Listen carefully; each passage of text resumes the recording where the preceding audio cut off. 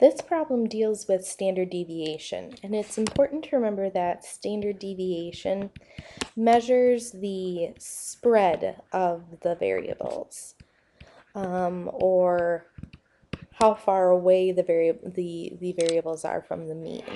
Now, when we look at these test scores 61, 65, 73, 79, 67.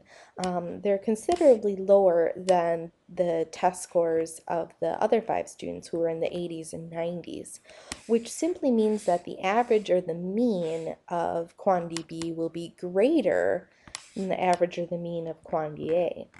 However, upon closer investigation, we, that, we see that 61 and 81 are exactly 20 units apart. 65 and 85 again 20 units apart. 73 93 and, and and so on.